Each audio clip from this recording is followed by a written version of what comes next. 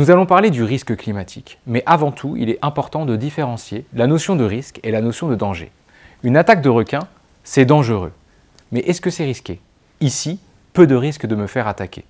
Définissons le risque en science. Le risque, c'est la combinaison de l'aléa, de l'enjeu et de la vulnérabilité. Le risque, c'est donc à la jonction de ces trois paramètres. Qu'est-ce que l'aléa? L'aléa, c'est la probabilité qu'un événement survienne. Ici, dans mon exemple sur le requin, si je me situe dans cette mer-là, où il y a beaucoup de requins, la probabilité qu'une attaque de requin survienne est importante. On dit que l'aléa est élevé. En revanche, en haut d'une montagne, l'aléa est nul. Donc l'aléa est important pour définir le risque. Mais ce n'est pas tout. L'enjeu est également important. L'enjeu représente les populations et les biens matériels mis en jeu. Ici, dans cette situation, il y a des requins, l'aléa est important, mais il n'y a aucun humain et aucun bien matériel. Donc l'enjeu est nul. En revanche, si on a beaucoup de nageurs à côté des requins, ici l'enjeu est élevé. Et le dernier paramètre, c'est la vulnérabilité, c'est-à-dire c'est la fragilité des biens et des populations sur place. Si je suis sur un paquebot, peu importe la quantité de requins dans la mer, la vulnérabilité est nulle, il y a peu de chances qu'un requin saute jusqu'à l'intérieur du paquebot.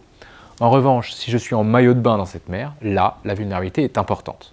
On comprend bien que le risque sera très important dans une situation où on a un aléa fort, un enjeu fort et une vulnérabilité forte. Ça, c'était pour définir la notion de risque. Maintenant, parlons du risque climatique et tout d'abord, présentons les différents aléas climatiques. Parmi les aléas climatiques, le changement climatique actuel, causé par l'augmentation des émissions de gaz à effet de serre, va provoquer une élévation du niveau des mers, une augmentation du nombre de submersions marines, ce qui peut conduire à des réfugiés climatiques. On peut avoir également la perturbation du cycle de l'eau, qui pourra conduire également à des submersions marines, mais également à une baisse du rendement de l'agriculture en raison de sécheresse. Et cette baisse de rendement de l'agriculture pourrait provoquer des famines qui elles-mêmes peuvent provoquer des réfugiés climatiques. Les inondations, les sécheresses, les feux de forêt, l'augmentation de la fréquence des événements météorologiques extrêmes, comme par exemple les vagues de chaleur, qui vont être de plus en plus nombreuses et de plus en plus fréquentes, et qui peuvent aussi avoir un effet sur les feux de forêt. Cet ensemble de paramètres, ici encadrés en rouge, correspondent à des aléas climatiques. Et nous, ici, on parle de risque climatique, donc il va falloir également parler d'enjeux et de vulnérabilité. On va prendre un exemple, on va prendre l'exemple des vagues de chaleur. Présentons l'exemple du risque de vague de chaleur. Déjà, est-ce qu'une vague de chaleur, c'est dangereux? Une vague de chaleur, c'est dangereux, cela peut provoquer l'hyperthermie, des maux de tête, des confusions, etc et donc ça présente un danger. Mais est-ce que, face au réchauffement climatique, il y a un risque lié aux vagues de chaleur? Alors analysons l'aléa.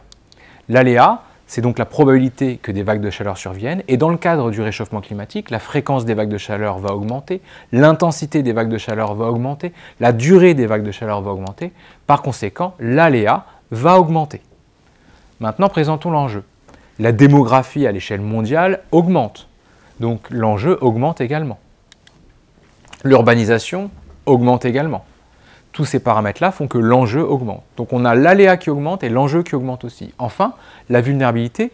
Les personnes les plus vulnérables face aux vagues de chaleur sont les personnes âgées, les personnes enceintes, et en l'occurrence, on observe à l'échelle mondiale un vieillissement de la population. Et la pauvreté fragilise également les populations.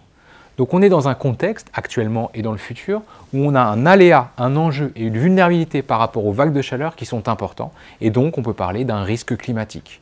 Donc voilà avec l'exemple des vagues de chaleur la notion de risque climatique, mais que l'on peut étendre à d'autres risques.